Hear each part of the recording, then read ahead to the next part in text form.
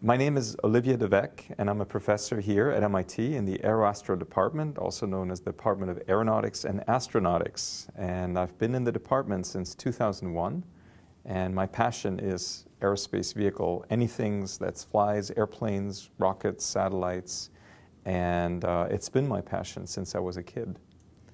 So, you know, I grew up in Switzerland in the, in the Alps, and the Alps, especially in the wintertime when it's a clear night are amazing. You look up at the night sky and you can see the stars, you can see the Milky Way, and as a kid it really inspired me. I wanted to do something with stars. Initially I thought I was going to be an astronomer, but then I really liked building things, and so aviation, rockets, spacecraft really became my passion.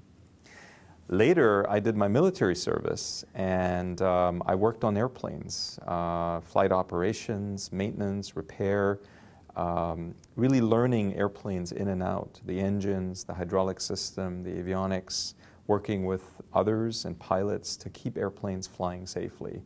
And that really was the origin of my passion for systems engineering.